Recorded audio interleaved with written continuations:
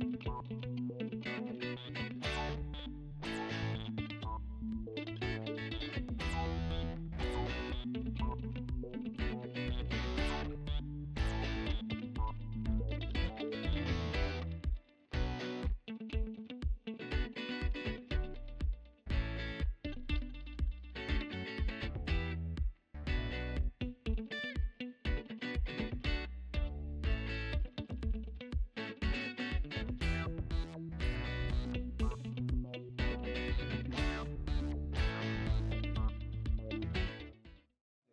ahí fue duro.